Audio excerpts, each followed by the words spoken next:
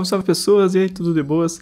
Eu sou GTS e nesse vídeo eu vou mostrar para você que é iniciante aqui no Tribes of Midgard como fazer o Fenrir de uma forma rápida. Vai ter muitas dicas do começo ao fim até eu derrotando ele, então bora lá. Logo ali no começo, o NPC vai dar várias quests pra gente, pode escolher qualquer uma, tanto faz. Isso aí vai servir só pra gente acompanhar as missões, não vai mudar a gameplay.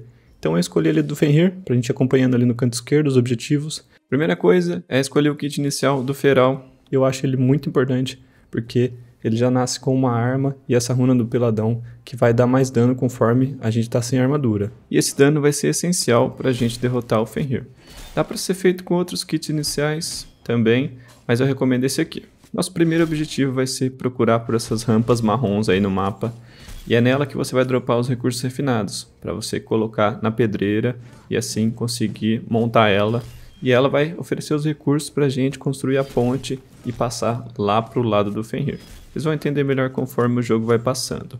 Você vai precisar de cerca de quatro dessas estruturas, então recomendo a exploração inicial ser focada nisso.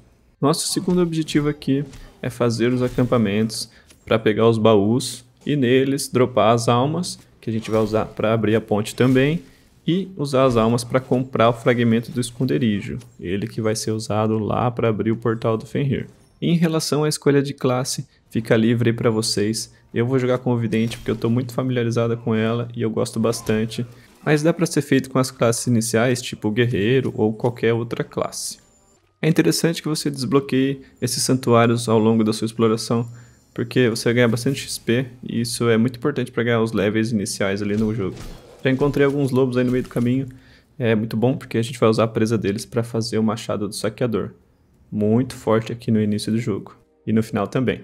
Tá começando a anoitecer e eu estou explorando o pântano, porque é nele que eu vou pegar os cogumelos luminosos durante a noite. Existem recursos no jogo que você só pega durante a noite, então fiquem atentos a isso.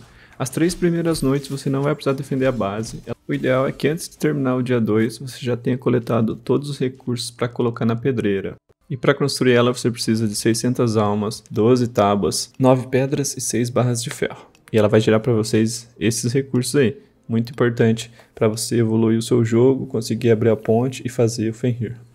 Eu voltei ali para a base, dei o upgrade no ferreiro, fiz o machado do saqueador e vou voltar a explorar. Algumas outras coisas interessantes que você pode fazer aqui no vilarejo, mas que nem todo mundo sabe, é pedir cura aí para essa vidente que fica na frente da cabana.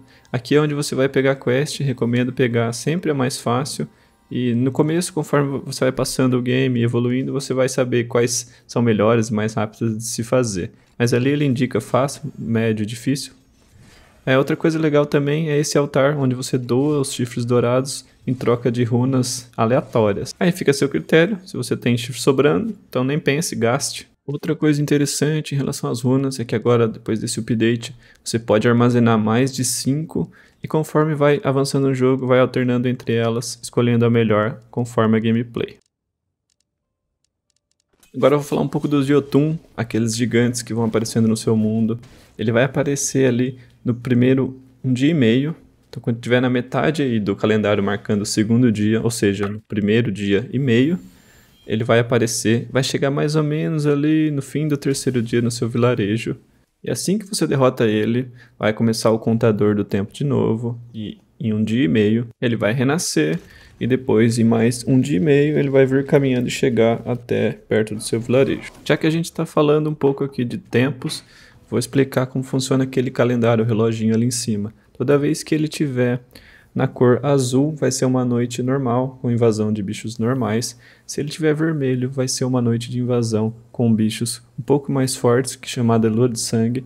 Então você tem que estar no seu vilarejo para defender. E se ele tiver verdinho, quer dizer que a noite não vai ter respaldo das criaturas Helfin.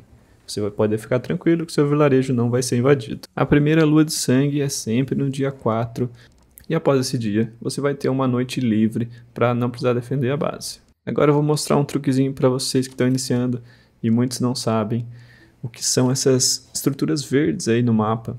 E você só consegue acessar ela usando rampas. Recomendo fazer, porque nesse baú você vai ganhar alguns itens e uma poção de alma. Ela que vai ser muito importante para a gente farmar e poder comprar os fragmentos do esconderijo. No total de almas a gente vai precisar de 7.500 para comprar 5 peças do fragmento. Vou falar um pouquinho depois disso para você. Outro tipo de fragmento que você vai precisar é o do evento. Evento esse que você vai fazer coletando o servo.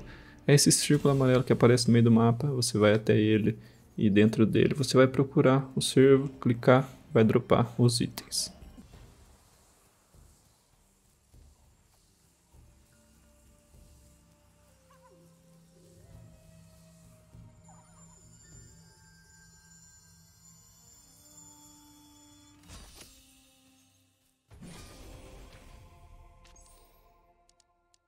Continue sempre explorando, aproveitem a noite para passar pelo deserto e não sofrer com o calor.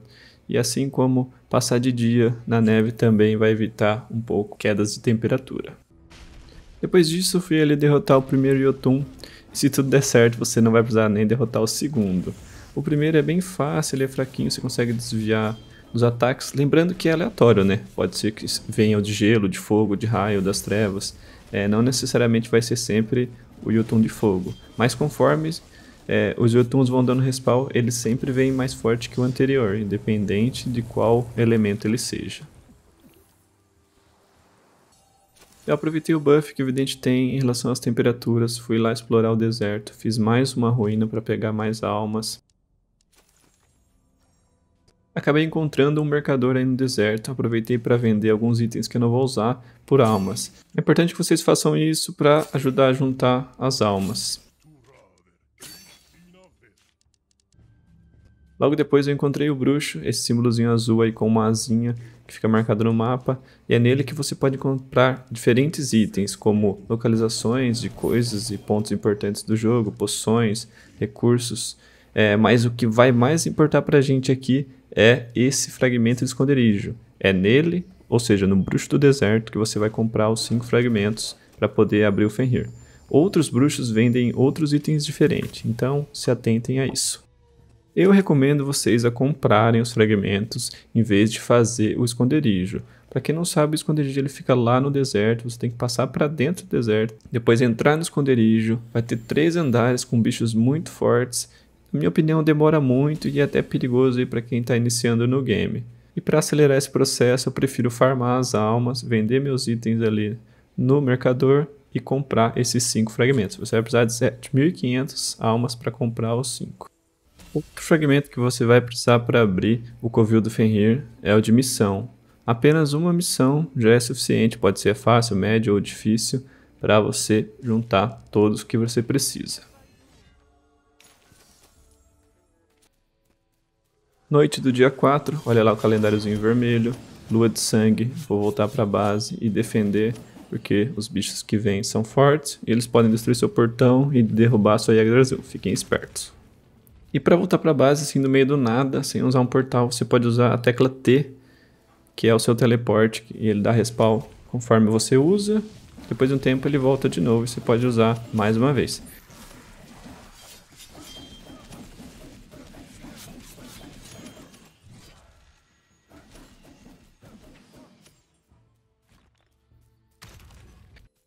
Eu já aproveitei que estava na base, fui ele pegar uns recursos para refinar. Esses recursos eu vou colocar lá na ponte. Você vai precisar de 50 pedras cortadas, 30 barras de ferro, 2.500 almas e 20 essência antiga. Tudo isso aí você vai colocar na ponte. E esses recursos a gente não vai sair coletando pelo mapa. A gente vai receber eles através da pedreira que a gente fez lá no início e com ela, a gente vai pegar os recursos crus e acabar refinando aqui nesse NPC. Já vai ser mais que o suficiente para você conseguir fazer a ponte. E para encontrar ela, você vai olhar no mapa e ver essa estrutura cinza aí com os arcos. Se você tiver com dificuldade, vai seguindo a estrada e tentando chegar nas beiradas do mapa. Geralmente ela fica por lá. E também do outro lado dela sempre é neve. E, sei lá, em 99% dos casos ela, ela tava ali. Da floresta luminosa para neve. Então recomendo vocês seguirem o caminho da estrada, procurar sempre pela floresta luminosa. Se você não estiver encontrando, dá para comprar a localização dela também. O tempo foi passando aí no jogo, eu craftei um Nornir Tier 3, depois eu farmei bastante almas nos acampamentos, nas ruínas, e eu vou lá agora comprar os fragmentos no Bruxo do Deserto. Olha o calendáriozinho ali verde que eu tinha falado para vocês, essa noite vai ser livre, então vai ficar bem tranquilo para a gente explorar e fazer as coisas.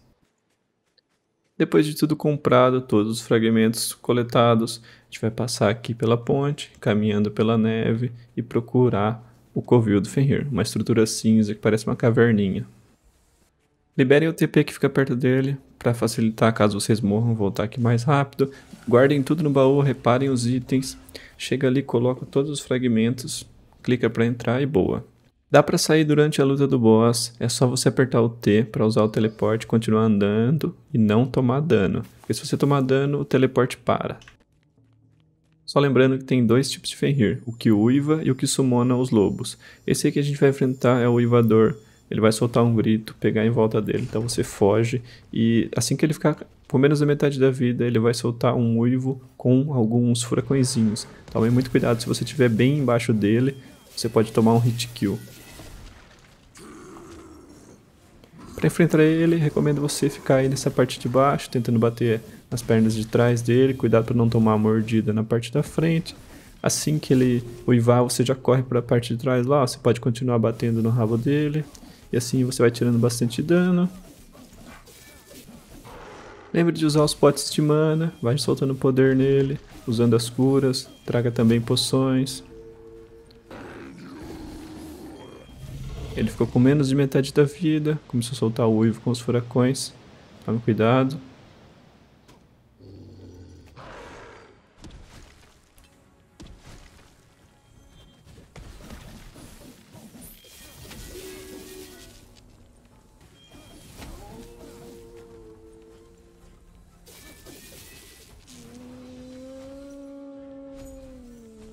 Aí é GG, derrotamos ele tranquilamente ali no sexto dia marcando no calendário, mais equivalente a 5 dentro do jogo. E toda vez que você mata ele, ele vai dropar uma runa muito interessante que anula a durabilidade dos itens. Ou seja, você não vai precisar ficar reparando mais suas coisas. É boa para continuar sua saga aqui, para matar Jormungand e depois o Surtur.